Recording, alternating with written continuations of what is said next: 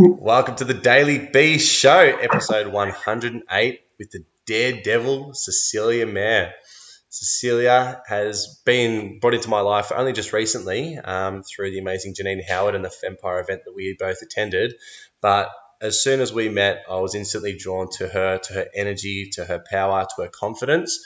Um, and just and also once we actually met and got time to, to spend um, a bit of time learning about each other and and sharing each other's stories, hearing Cecilia's story about going from when she was this able-bodied daredevil chick to now now disabled-bodied, still the daredevil within, um, but partner, mother, best friend, wife, and she's just an, absolutely beautiful soul. And and the the plight that she's gone to in that journey is something that really inspired me, and that I know is going to inspire a lot of you guys. So I'm really excited to have her here with us today. Um, and yeah, joining us. So, Cecilia, thank you for, for coming here and joining us. Hi, Mat. Thanks for having me on the show. Absolute pleasure. I've got a little bit of a sniffle, so excuse me if I need to sneeze or snort or bubble or burp as we go along today. no problem. it's nice that you sort of showed up anyway. You probably could be resting. Yeah, healing. absolutely. Well, I just um, actually saw Tom Bilyeu is he, he runs Impact Theory. He's one of the guys that I model based on this show as well, and and sort of draw a lot of inspiration from. And I saw one of his uh, videos just recently talking about how he was so sick before an interview, and how he drew inspiration from Michael Jordan before he went into one of the the finals. And Michael mm. Jordan was absolutely spent. His temperature was through the roof. He was really he shouldn't have been doing anything, let alone playing a, a professional game of sport. Um, yeah. But yeah, to show up like that, like we just able to draw inspiration from other people that are doing amazing things, and hence why you're here with me today. So, for those that haven't had the pleasure of, of meeting you yet and um, and hearing a bit about you and what you're up to, do you mind sharing, yeah, who you are and just specifically what you're doing at the moment for the world? Okay. Um, hi all, uh, Cecilia here. Um, I um, oh, short story ended up with a um, right-sided physical disability um, and after a, a stroke um, from a brain tumor. And it's been eight years now, and I would like to help um, other people going through similar transitions, either with um, physical disabilities after they've been a very quite active um, person in particular, and um, also, not just physical disabilities, you're impacted with um, also the loss of identity. Um, in particular, yeah. is a really common thread um, when I um, uh, talk with people about what I want to do, and they end up talking about their, let's say, invisible disabilities. Yeah. Um, a common, big common thread is the loss of identity and what that goes through. And um, I also spent the last three years training as a naturopath, and Lovely. what I got out of that, I took a year off this year to have a break from studies before I pursued more studies, and um, I just had this desire to put together a community and a platform, and that I, I can um, help inspire, and motivate, or mentor that um, people along similar journeys and even create a community where we can all get together. And it doesn't have to be people going through the exact same thing but there's just this common underlying thread that um, um passionate about getting these people together and sharing and um, enjoying the journey together.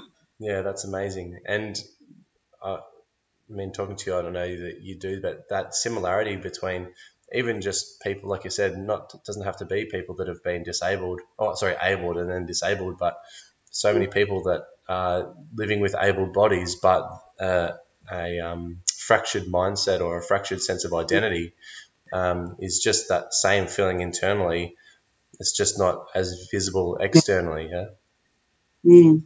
Yeah, definitely. So take us back to um, what life was like 10 years mm. ago, nine, 10 years ago, what you were up to and, and the life that you were leading? Yeah, so 10 years ago in particular is pretty relevant. Um, I started the Sunshine Coast Roller Derby League, uh, Coastal Assassins Roller Derby, um, we called it. it's still actually going. They just had their last game of the season last weekend. I actually wasn't well enough to go, but um, uh, yeah. So ten years um, in into it, it's still going. This is my first year. I'd stepped away, even um, so after my stroke, I stayed present with the league and did some um, off skate coaching. I just um, uh, just speak out the drills and have someone demonstrating. And I was, um, I guess you could say I was a skills nut. So you just you got to get those basics, and then yeah. you, you can learn, can do anything. But if you yeah, if you knuckle down and get so those, can you explain roller derby? Roller derby because I, I didn't even know what it was until I met you. Ah, yeah. Okay. So. Uh, I've gotten a lot better at explaining this quickly. um, you're on roller skates. You've got uh, five people from each team on the track at any given time. One skater is the um, point scoring skater, um, and that's called the jammer. And the pack of skaters, the, the blockers, the large group five skaters, um, you you get a point for every blocker you pass on the opposing team. So your blockers are trying to keep those other skaters away for, so your jammer can get through. Okay. Um, and you go around a, a loop. Uh, it's like an egg-shaped circle, an ovalish yeah. shape.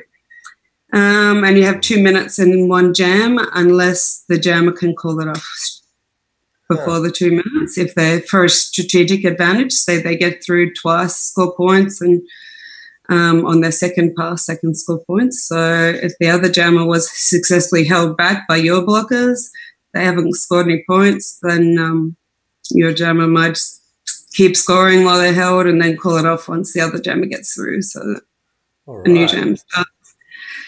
Yeah, that was one of my longest versions, but yeah. so it's, it's, sort of like get like a mix between um, the rugby scrums and mm. um, rally car racing around this, this, the outskirts of the, the track. yeah.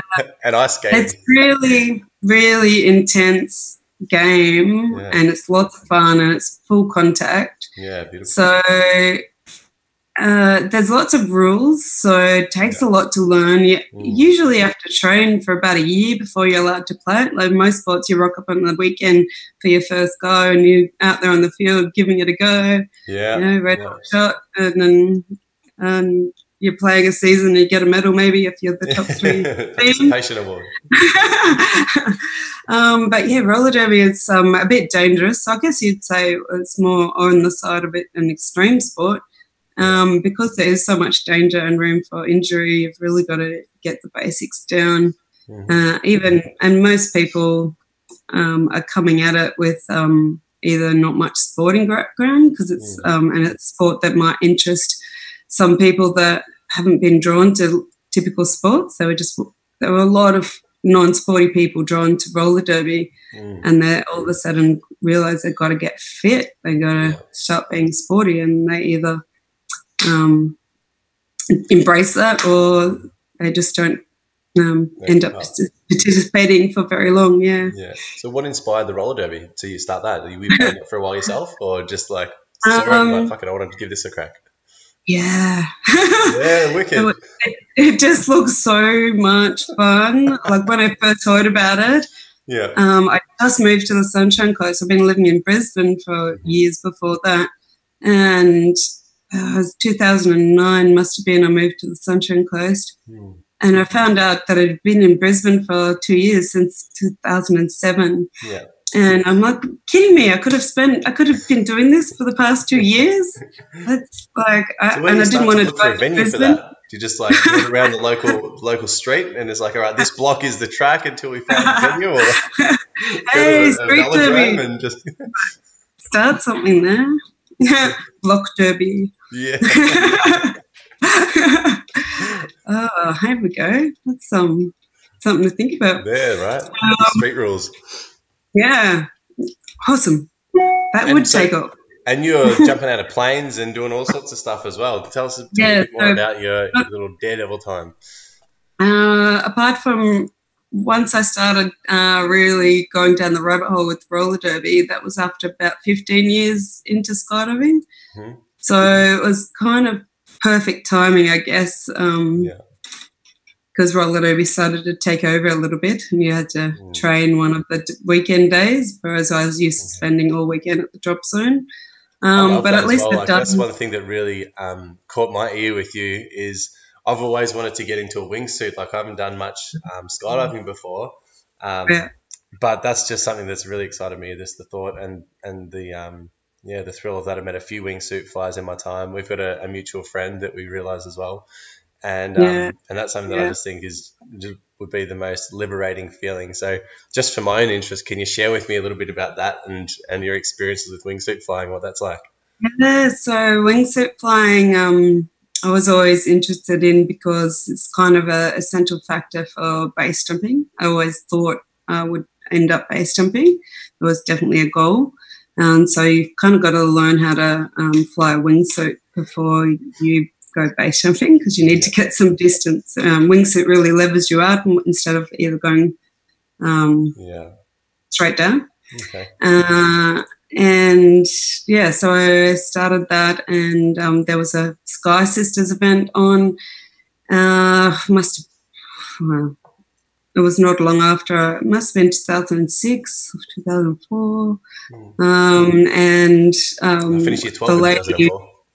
uh, wingsuit, uh, have had a lot of wingsuits there Mm. for everyone to try. And then they thought, oh, well, let's get a um, female record going. If we just submit, they just submit the plan of the formation before the jump, and then um, there's if there would happen to be judges there because other records were going on, and Mm. so we submitted and um, practiced the jump, and yeah, we got everyone um, in the formation. So I actually was part of a nine-way Australian female um, wingsuiting record. Done. Awesome. That's so cool. And, uh, I love it. Oh my God.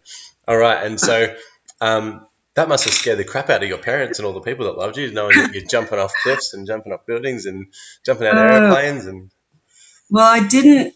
Uh, they knew I wanted to base jump, but I actually didn't get to do it. Um, right before my um, my stroke, actually, we my husband and I decided what we're going to do. We're going to go on a base jumping holiday, or we're going to. We had unsuccessfully um, fallen tried been trying to fall pregnant for nearly two years, and we're like, oh, do we go down the IVF route? It's an expense, and or do we go and just have a holiday in Switzerland or somewhere and go learn to base jump? And well, we just like decided on well, let's try one round of IVF.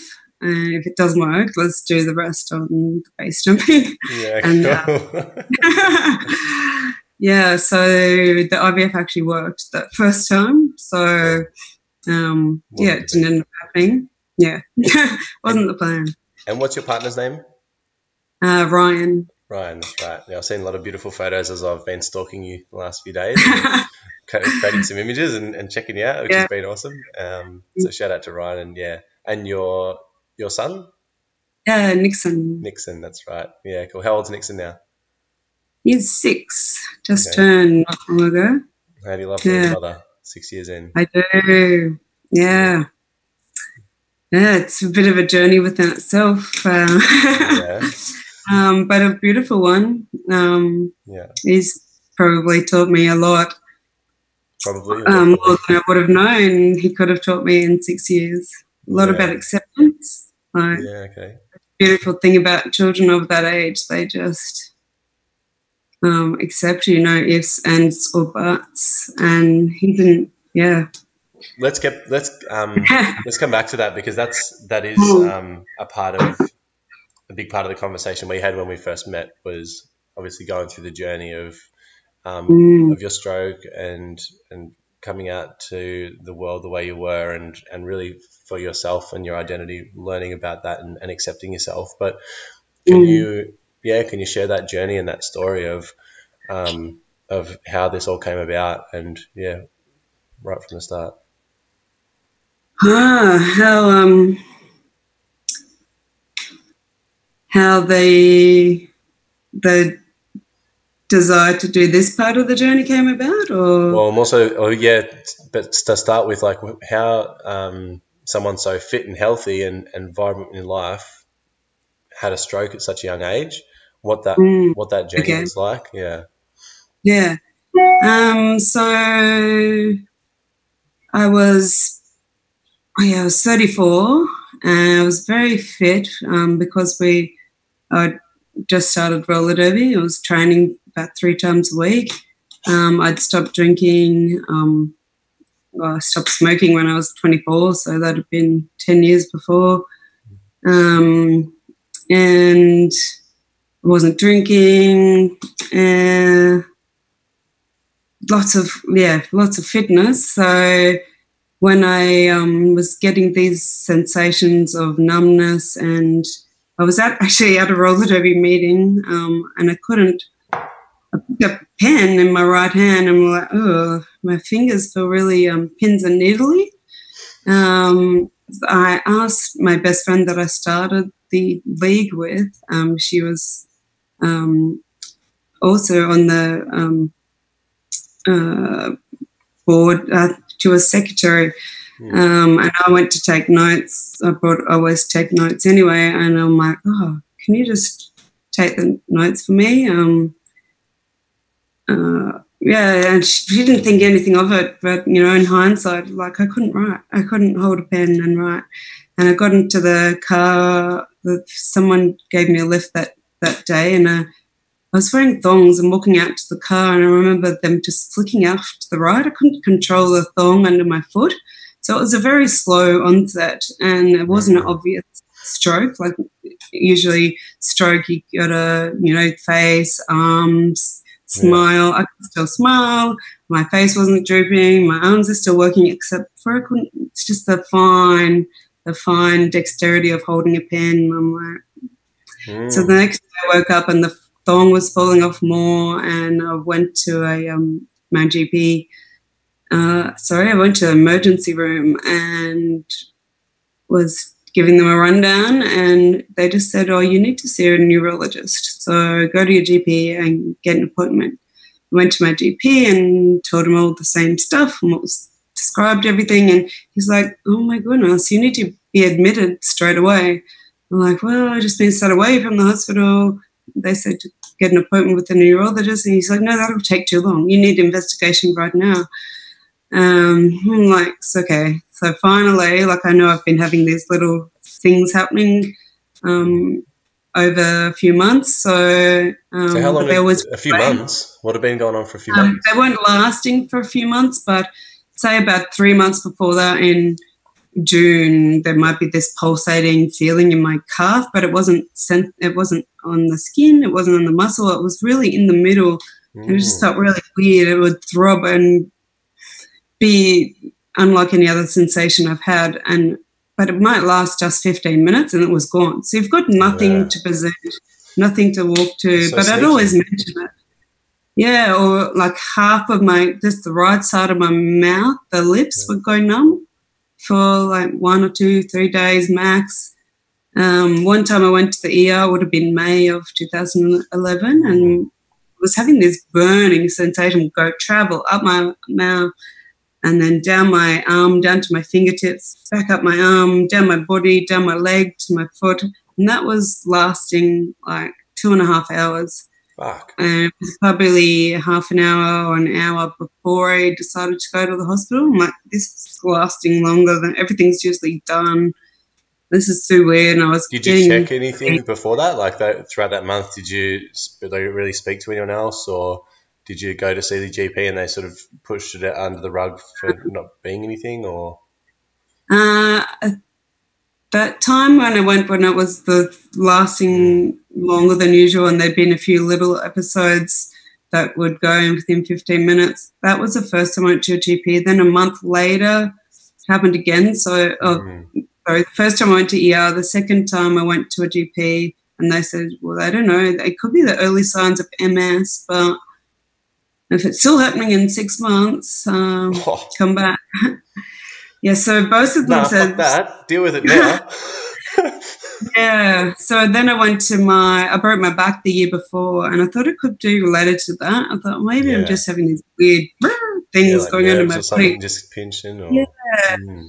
So then I, um, that was my like, what grasping at straws, thinking I Mm. was, I'm too much of a positive person in that regard. So I just want to think the best. Um, it does serve you for My detriment. part. Yeah. Um, it's, it's all good. Nothing's going on.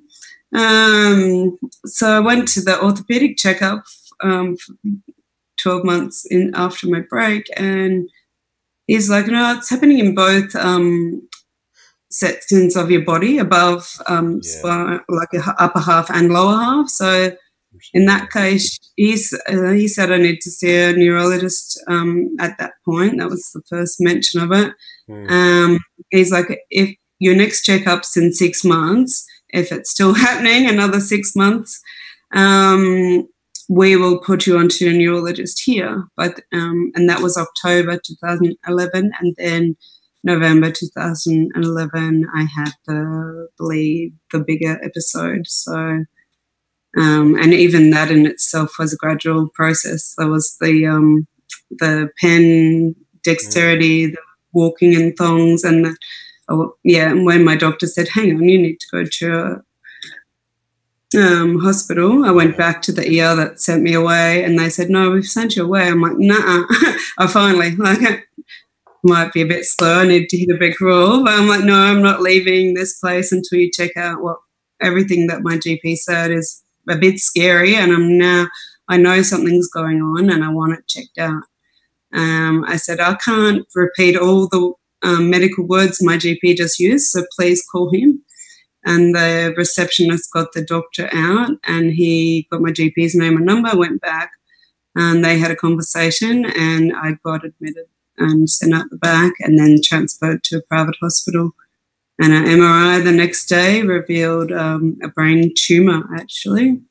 Um, and so that's how a healthy person can have a, um, a stroke because it wasn't a normal stroke. I didn't have an aneurysm burst or um, artery or yeah, I had this benign brain tumor on the left side of my head that gave the right side of my body all the problems. Oh, okay.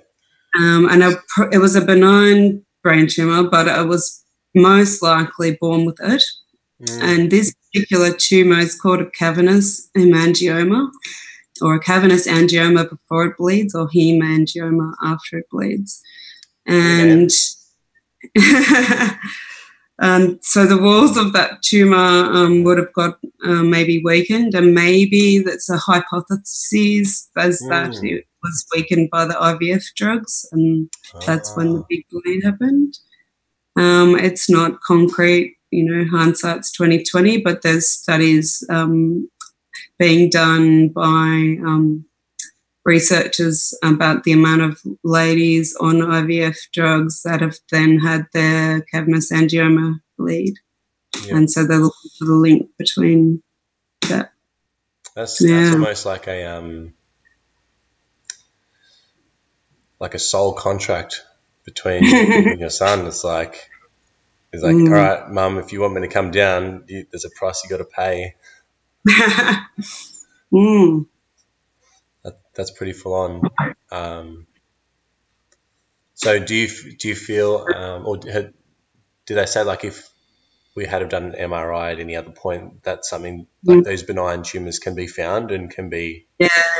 So in, interestingly, say that my GP, because he knew my story and my symptoms and everything after the fact, because um, I Mm. actually didn't tell him earlier in the year, but um, so he actually saw the symptoms in another of his patients and was able to get an MRI before his big bleed. He this patient was coming to him going, I've had this, this, that's going on. And he's like, right, straight away, MRI. And he'd had um, preventative surgery and got it taken out. how does that make you Um, feel? ah, it's bittersweet. Double edged sword. I've, I've helped someone. Yeah, just by happening to go to the GP I went to and going through what I went through. It's um, save someone else hmm from going through this. So that's good. but hindsight, you know, it's, it's you don't know. If I'd have had preventative surgery, it comes with its own risks anyways, brain surgery. Like I had like that much of my skull peeled over and then the cut into and I'm demonstrating this because um, there, that's the side the Yeah. tumor was.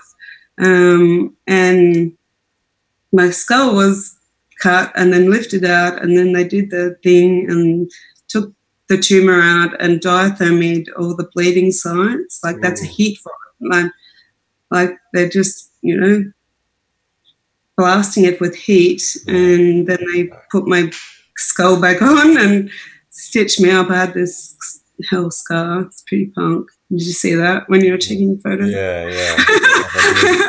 it's, it's full on. It's, it's barbaric Um, almost, but so delicate and um, and amazing at the same time. Yeah. So they um when I went to think about what would happen if I'd have found it, if I'd have listened to my warning signs, if I'd have demanded an MRI from the doctor that thought, oh, maybe it's an MS. If Yeah. I I mean, really I put the onus back on me and another thing I would just would love everyone to get get in touch with yourself, listen to yourself, you know you, Mm. and be your own. Um, you, you, we we put a lot of faith in your, the medical profession, and not enough faith in ourselves. Hundred percent. Like your body is phenomenal. It it pushes Yeah, parts out of it that it doesn't want to be in there. It it turns you know pieces of food Yeah. into human being. Like it's a magical it's a magical system, and um, yeah, I'd definitely Yeah. affirm that and attest to that as well. Like it's it's crazy how disconnected that so many people are, and that I definitely was for a long time, and and am continuing to practice getting more in Yeah. touch with with those feelings and trusting that um, and accept Mm. like this acceptance, which we'll get into as well a little bit, but um, that's huge, and and I'm sure that yeah, like a, just from your story, I know that you implore people to go out there and really take um, the smallest um, sensation seriously and to get them checked out sooner rather than later because you know, it can't hurt if there's nothing there, but it can if there Yeah. is. um, and I think there has been a bit of a shift in ten years for sure. Hmm. um, the um, when I tell my story to a lot of time I'm going in for whatever reason, and the particular radiologist go, "Oh, what happened?" and tell my story. Well, and um, they say, "Oh, well, it wouldn't have been missed if it happened these days because they check they send people for scans over nothing." Hmm. Um, but they didn't do that. They had the mindset that they needed to save money and don't send people for MRIs because they're oh, if it's still there in six months, come back. Yeah, yeah. Fuck that. nope, Oh, I'm coming yeah. down. meanwhile, keep bleeding away. Mm. So could you put in some extra orders with the brain surgery? Like, can you just rewire the money part and just maybe make me a really good cook as well? And Yeah. while you're in I there, think when I get to the stage where you can, well, that's happening, and they put in a little chip that links all everything yeah, instead of like, like basically, I was a my brain, the you know computer chip was soldered. Was Mm. I literally got soldered? I could have connected a microchip. just I- in the Google Maps in there and just That would have been cool. That yeah, we're not far off that. Hey. all the AI. all in good time. Yeah. All right, yeah, that's that's full on. And um, I've got a I've got a really close friend that's gone through a similar process as well. She did she does have MS and she's gone through brain surgery and, and had her own her own complications and, and her own Yeah. journey and um, it's it's frightening. It's it's scary. Like when you you mess around with that stuff and I mean, it's great that we're we can be here now, and like you've had eight years to come to terms with your disability, but to, to come to Yeah. terms and and reshape um, your identity, really, which is is what it is. Like you're still you're still you, right? You, you just got Yeah. um, different abilities now, and right. um, but but during those times, that's that's some scary times. That's really really scary, especially for like yeah, your partner, your son, and and all your friends and family. That would have been hor- horrifying. Oh, yeah, for sure. Um, I think it, it, took its own um, toll and stress and health in my husband too. Like, Yeah, but yeah, um, I think yeah, he started getting migraines and whatnot. Like, stress is like huge, and yeah, it comes in uh, all different forms and for different reasons for Mm. different people. Um, uh, something I realized I didn't answer before when you mentioned your friend with MS and you'd gone through her own surgery, but when I was talking about um, preventive, if I had had preventative surgery, it's got its own risks, and you never know what that would happen. I could have done that, and I could have ended up blind. Like you're Yeah. that close to all those little things, and I actually know of someone who had preventative surgery for an aneurysm that hadn't burst, but um, it was, you know, there was a pretty high chance it was going to. And there's risk with um, every surgery, let alone brain surgery. And yeah, this particular patient and was ended up blind. So yeah, there's hind, hindsight's twenty twenty, and to think I wish I had a chance to have preventive surgery.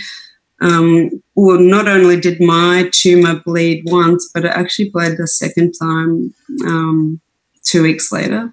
So then I go down the rabbit hole of well, why didn't we do surgery after the first bleed? Mm. Um, there's lots of complications. I was pregnant. I was five weeks, six weeks pregnant. Um, Oh, so you were pregnant Yeah. at this stage. You hadn't even had um, had far out. That's on as well. so I I um, was going through rehab. I was um, they're waiting to see if they do do surgery after the second bleed because I was maybe I was eight weeks pregnant then, but I actually started uterine bleeding, Mm. and um, I don't want to chuck you into a stressful situation, and maybe you come out with whatever happens in brain surgery plus losing your baby. So they wanted to monitor the bleeding um, Mm. before they went in, and it was just steady. It was slow, and um, they monitored it for like two weeks, and it was the same. So like, well, we've kind of got to make the decision to either do this or we don't want you to have another bleed. Um, with cavernous angiomas, they sometimes and most often they don't bleed at all and they don't have an impact. If, if mine hadn't have bled, I wouldn't have known I had. I'd never had a CT or an MRI of my head before, so I didn't know it was there. Um, uh, so I um, went ahead with the surgery. Um, I agreed. I don't want another one. Um, significantly, I could still move my fingers after um, um, my first bleed, and this is my left hand. Um, and this is my right hand after the second bleed. I can't, I can't extend my fingers. I can curl them in a bit, but it takes a lot of effort. But there's no functional use. And my wrist on my right hand, um, I can't. You need your wrist action and your opening and closing, and pronate and supinate to be able to functionally use your hand. So after the second bleed, um, so much more was lost um, that it was um, it was a no brainer as to whether we do that surgery now or not. So how did your um, how do you feel looking back now that your your mindset of and the kind of person that you were assisted you throughout that process? Like you're mm. you're a ballsy ballsy bitch, man. Like to do the stuff that you did, it takes you know, like that's the top few percent that are willing to take those those physical risks and to to seek that that adventure and to to seek that thrill. But really, like that's that's crossing the precipice and, and be willing to take those big leaps um, Mm. and survive some pretty extreme emotion, like physically and mentally emotional states, just to do the, the activities that you were doing on a regular basis. So Um, yeah, I probably need to thank my sister because she put me in training my whole life. I had a four year older sister, hmm and when I was What's by maybe Priscilla, Priscilla. Hey Priscilla.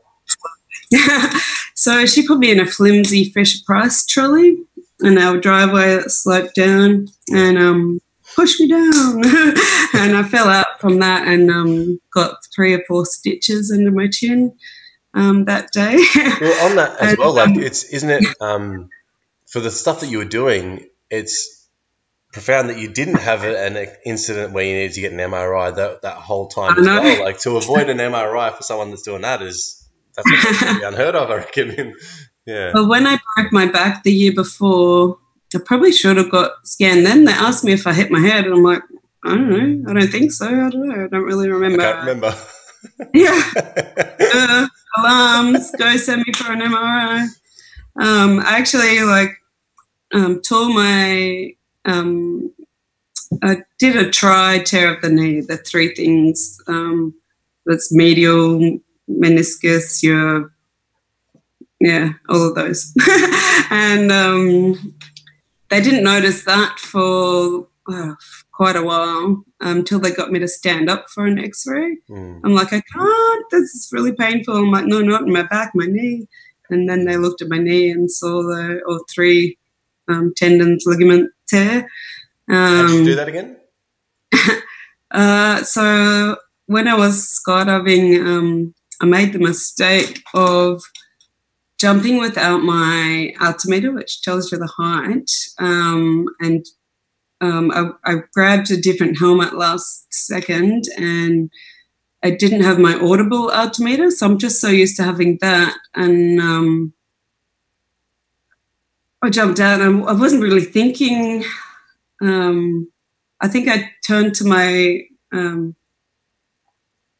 uh, just trying to remember now, but let's say I jumped without these things, and you don't do that if you're in the plane and you realize you should just go down with the plane. So I jumped anyway, um, and just thought, well, when my when the person jumps with me, usually they just wave off at a certain height It's just normal, and then they turn 180 degrees and track off, and you go zoom the opposite way, and then deploy your parachute. So, oh, when wave when he waves off, um, I'll just know we're at that height then. But he, we hadn't really talked, and he had decided that he was going to watch me deploy my parachute. So he's like waiting for me to wave off, and I'm waiting for him to wave off. And yeah, so I ended up um, deploying my parachute, like, because he's just, uh, fuck this, my is beeping like crazy in my ear.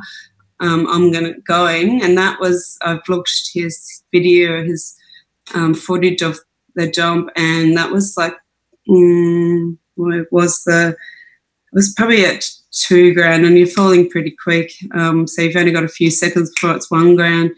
Um, so I literally flipped over, realized we were low, and um, deployed my parachute, but my your reserve parachute is set to deploy at a certain height if you do not deploy a parachute. So if you get knocked unconscious, it's going to deploy your parachute. So I ended up with two parachutes out, my main oh, and God. my reserve.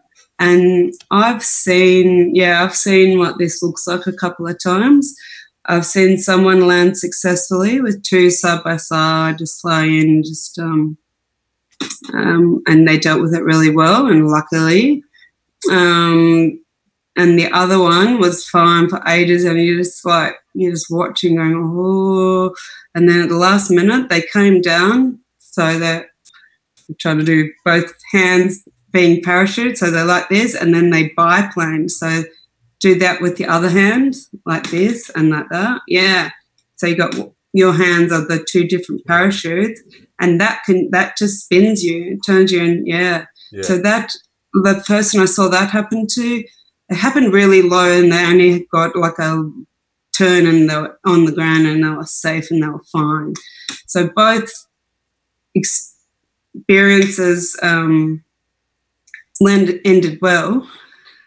Um, but now I've got two, two open and um, they were stacked uh, when I looked up, and I decided to. So sort of like that.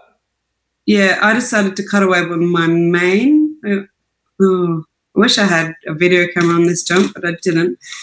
Um, and my main, were they? Yeah, it cleared away. It left, and like luckily, because that could have gone bad too the main tangled up with my reserve. And yeah, um, See ya. Yeah. Um, didn't happen. Had a reserve to um, fully inflate it. So I went to release my brakes because your brakes are set um, on your canopy when they're open. So your canopy is flying the slowest, um, it'll fly. Mm. And then you release your brakes, you let your canopy fly full. Um, and I released, and one side wouldn't release. Like I like got one out, and I couldn't get the other other side out um, for some reason. So I had to. I was pretty low to the ground. I didn't have much time. I'm like, well, I need to f- stop flapping around with these brakes, and I need to figure out where's the wind coming from. Where am I going to land? I'm miles off the drop zone. I mean, farmer territory. There's trees, there's hills, there's cows, there's fences. Uh, I need to sort out where I'm going to land, and then I can give get it releasing my brake one last red hot kick. Um, I'm literally coming into land. I'm like, nah, it's not budging. I've got to land in um, brake mode, which isn't ideal because you're not getting a full performance from your canopy. Mm. And the reserve canopy is also already docile. So um, when I come into land, I went to flare. And basically, your, your flare's already started for you because it's on brakes. And when I go to flare, um, I probably just put too much oomph into it because it stalled the canopy and then I just dropped out of the sky. So I was fairly low to the ground, it was maybe a knee height kind of drop. Um, so obviously my legs are already near on ground. I just kind of touched down, but in a stalling mode. So I was momentum of a pendulum and it slammed me to my back. Oh, That's how it broke my back. And you've got your um, r- rig on. That's hard. mm. And then compressing my back and between my back and the ground. And just, yeah, compressed. And I got four fractures um, on my spine um, down there.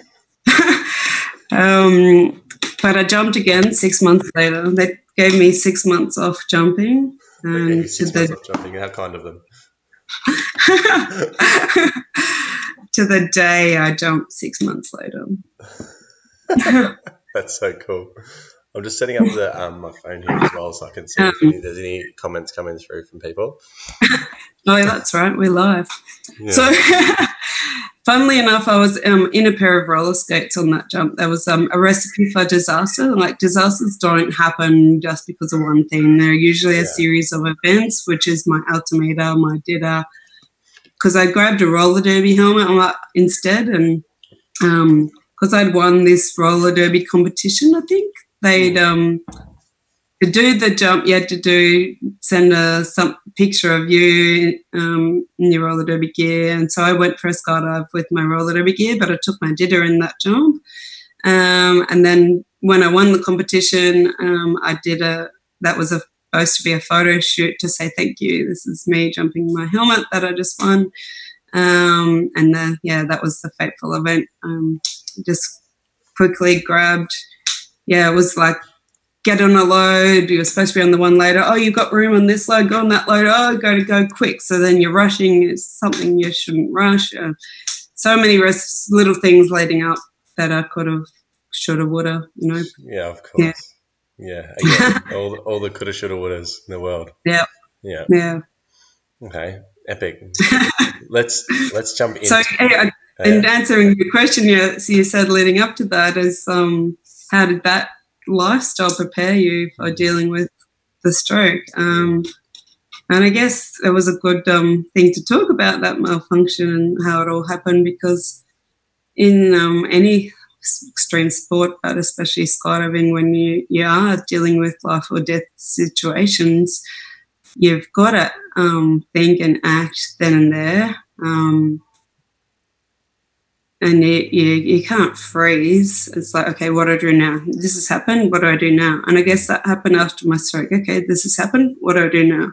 yeah, cool. You, you know, it's like, and it's not just buckle in and freeze and woe is me, what happened to me. It was like, oh, this happened. What do I do now? I guess I'm, I was such a practice mindset in Mhm. 15 years of skydiving that it just became how I responded to a malfunction of my body.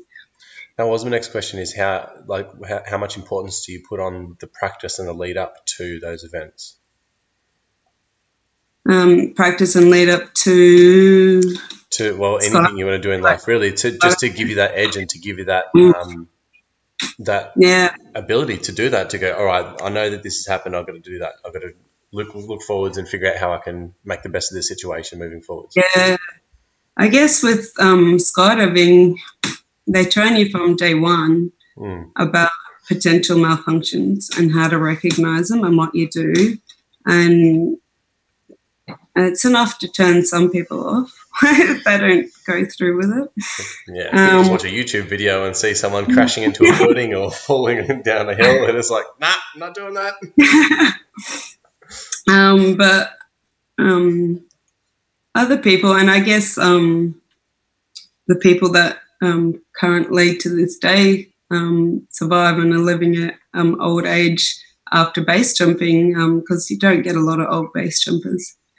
Um, but they acknowledge the um, dangers before every jump they do, and um, it's when you get complacent, which maybe I was the day I had that accident. That's when things can happen. And I think the people that are getting old base jumping, they're acknowledging the danger every time and they are triple checking and double checking and choosing the days that they jump. And and I think that's definitely important um, in um, going through and making it in that um, in that stage in that realm Mm. Um, and then the skills that that brings to day-to-day life. Um, How's that obvious complacency. How, how dangerous is that complacency with your health then as well? yeah yep exactly. Tra- transfers over so well. Mm. um, yeah. And so many people are complacent with their health um, or not listening to their body their body's screaming at them Mm. this this this and um, just ignoring it push it to the side no well, everyone wants like we are by nature look for the we just want to see the the best and the, it's not wrong nothing's wrong it's fine push it aside i've got this and this to do uh, i can't get caught up in that i don't have time for it Yeah. it's all good Yeah. carry on. Think positively and, and it'll go away. yeah. Tell, tell me about the aftermath because that, that's um, I think where I mean it's, it's, the whole thing has been powerful and it's powerful but the aftermath as well and hearing about your journey from yeah just going all right this has happened. The parachute's fucked up. I've just had a stroke. This is where it's at. What what's happening moving forward? And and um, incorporating that with your the complete um, shift in your identity as well and, and how that came about and how you handled that. Yeah. Ah, um, this is a long journey. Have we got seven years? No. um, okay, so after that brain surgery, um, I came out of the surgery and was put in um, ER just to be monitored as you are. That's just normal after um, a brain surgery. And um, I could not talk. Uh, so that was pretty scary because um, Mm. I'm pregnant and in that moment, not knowing if I'm going to be able to talk. Am I So going to be able sitting to there, talk? literally, just you like nothing was happening. No. Um, I could hear everything that was going on. Um, doctors had come, so I could communicate by nodding or shaking. It was a game of 21 questions. Um, Fuck. uh, I couldn't feel sensory, like if um, anyone came and touched my arm or held my hand or leg. I had no idea unless I looked at it, and that was a really weird sensation. Um, but speech was um, that was um, really crazy because I'd already lost, you know, walking and uh, using my arm on the use of my right leg. So to lose ability to talk uh, was definitely huge and spun me the most um, out, you know, um, into, you know, where your mind goes. Um, so was death a, a, thought that came up? Like, is this like, is this the lead up to me dying or anything like that? Or uh, interestingly, no. Yeah.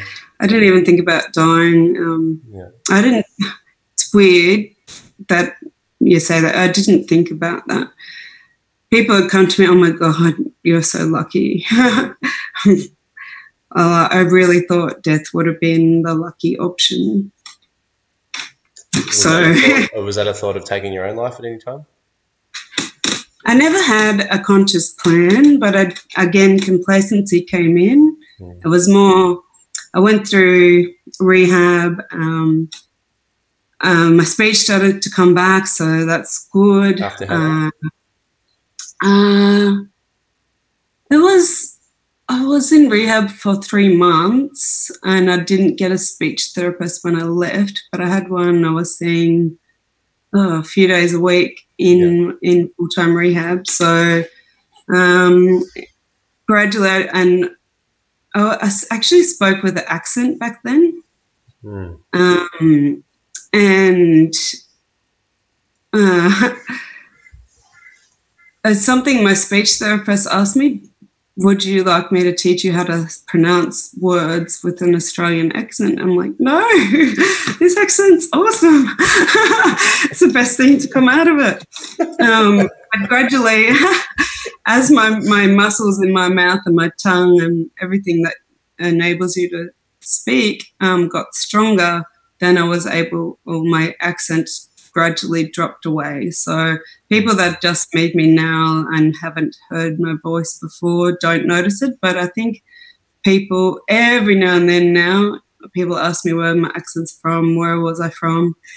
Um, but back in the first year, people ask me every time. I go to the shops because live on Sunshine Coast, yeah. travel destination. Oh, yeah. where are you traveling from? Oh, you sound uh, we're in Europe because oh, it was like European, but you couldn't place it, or it was South African, I got told, or New Zealand, or have you were you born in South Africa but traveled a lot? So yeah. yeah I'm an innovator. I'm making up my own.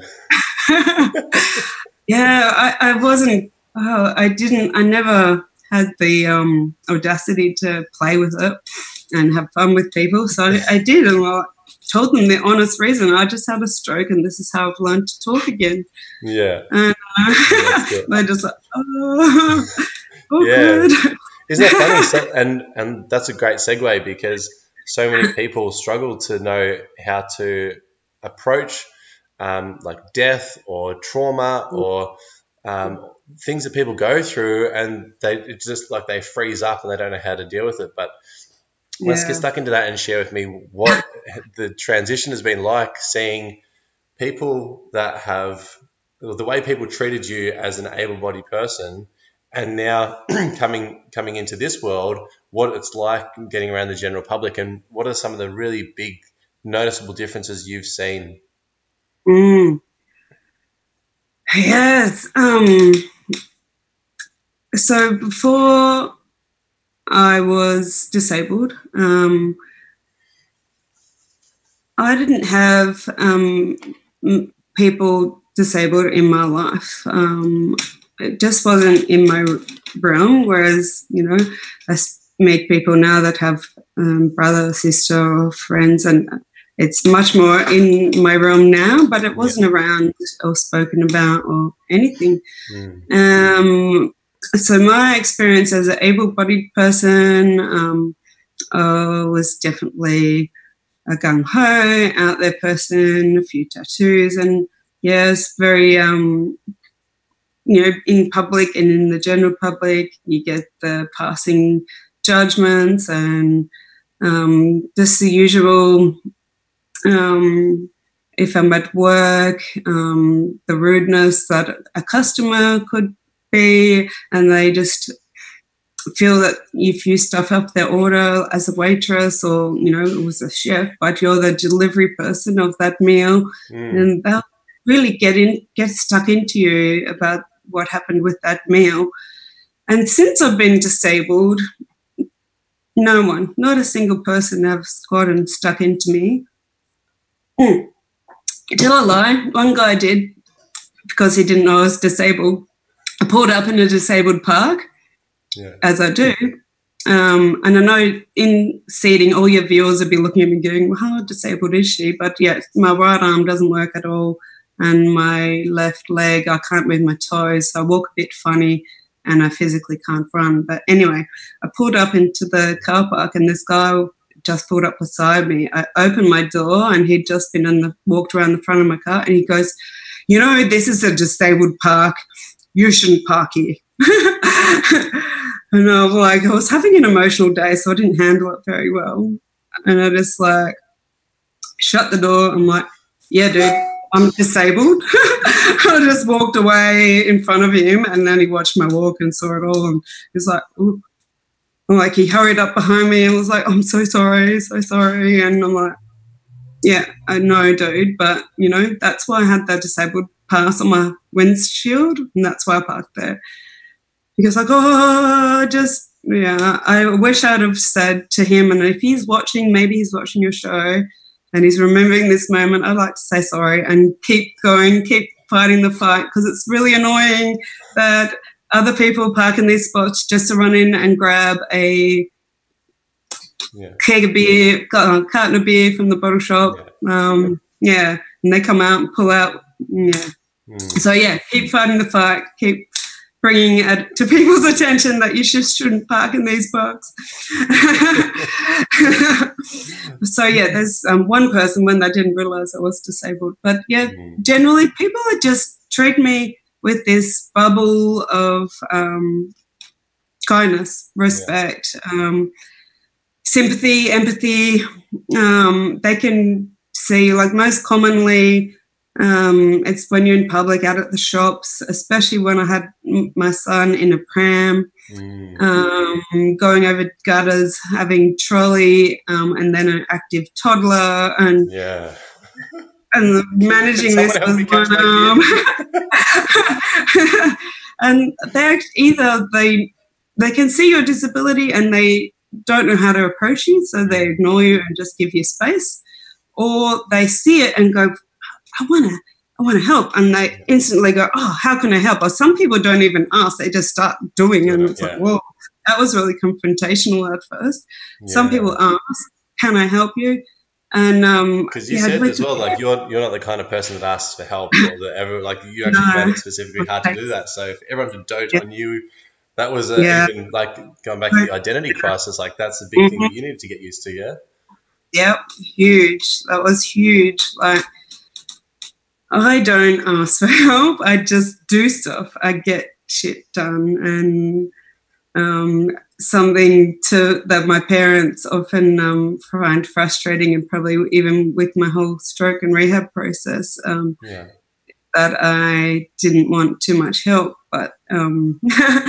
I obviously had to ask for it, and I, I, I learned to ask for it and accept it a lot better as years went on. Yeah. There was definitely stages um, within that.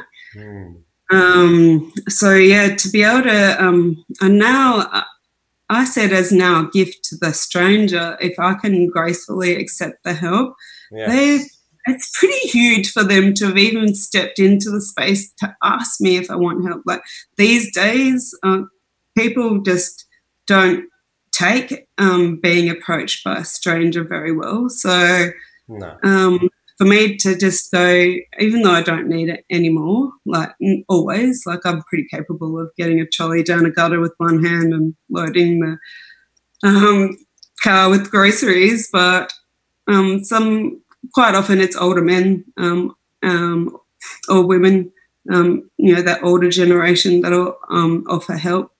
Yeah. And, and now I just go, yeah, you know what, that would make my day. Thank you so much. And thank you for taking time um, to even offer and help me. And so, yeah, just yesterday, actually, a lady helped me pack my, I was scanning everything and then putting in the bag. And, you know, she helped organize my bag and put some things in for me. And, um, yeah. That's so sweet. And, and it really is, like you said, it goes two ways. Like you can't have giving without receiving. It's the one energy expressed mm. two different ways.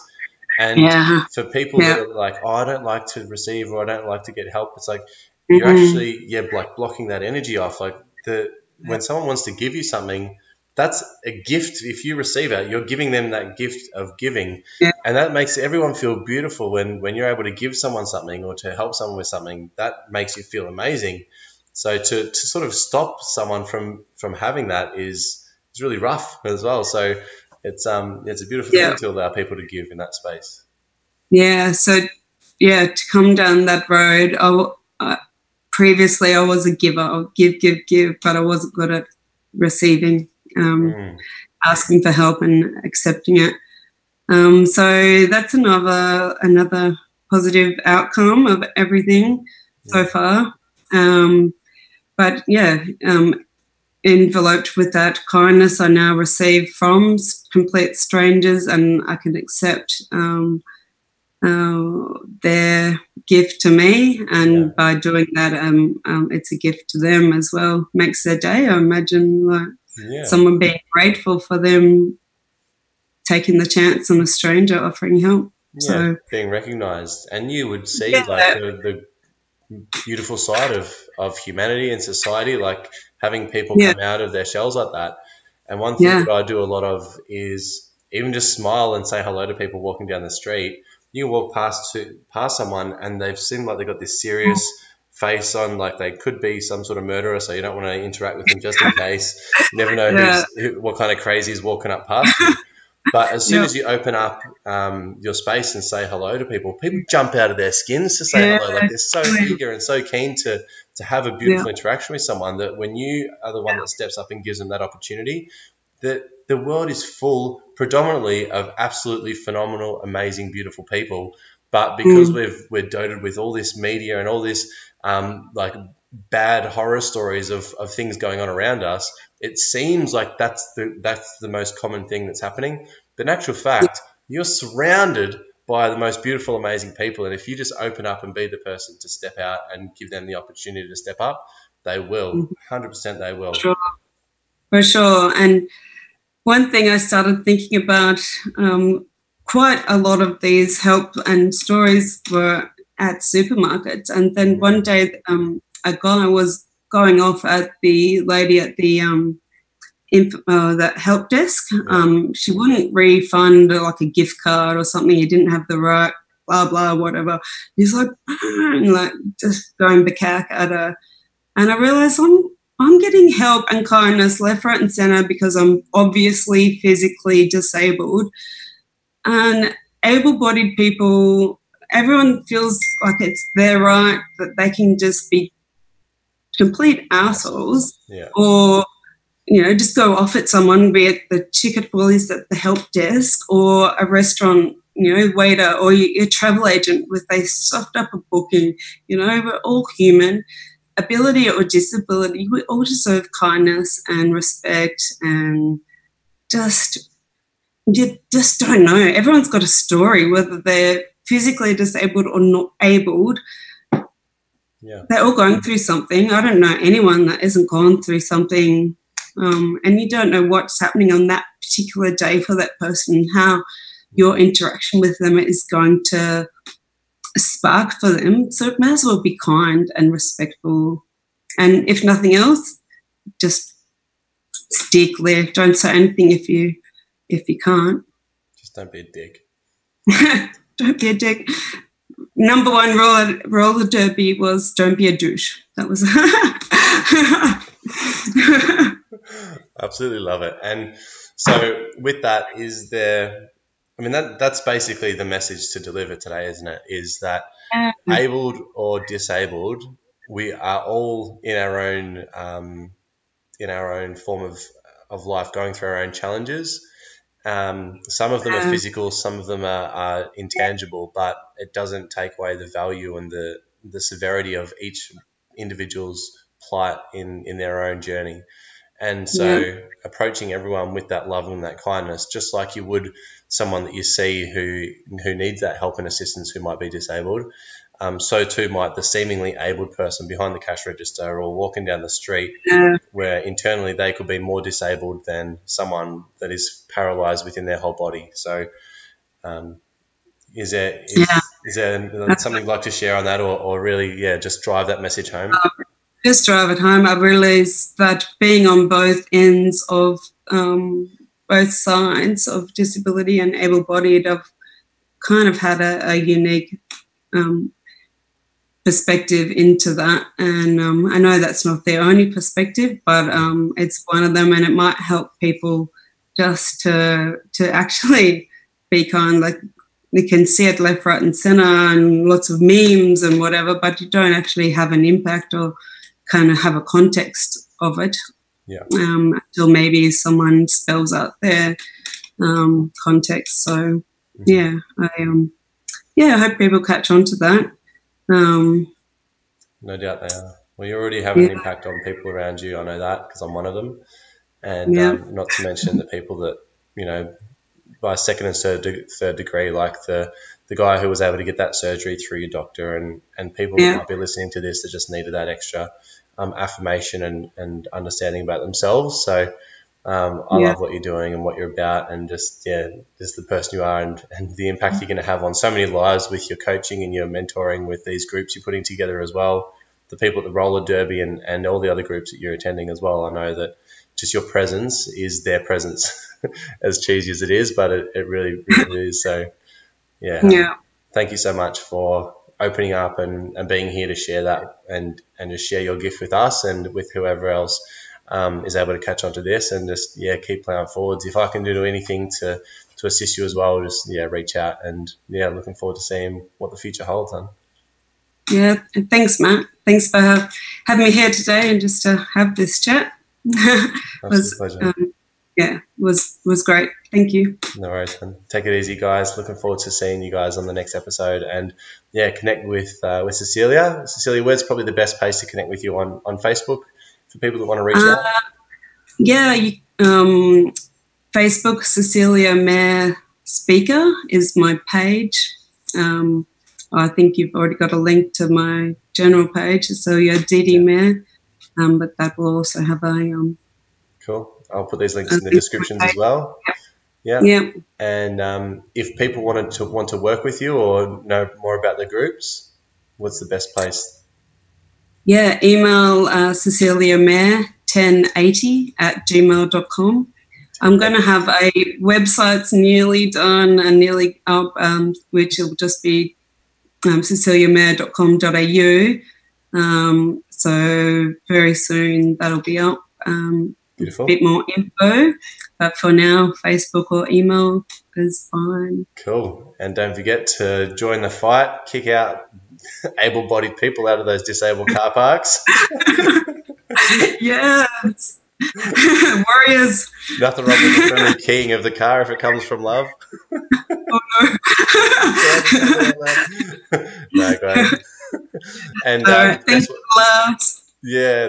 Look, love you guys lots. Cecilia, have an awesome day. We'll chat soon. And guys, take it easy. Rock and roll.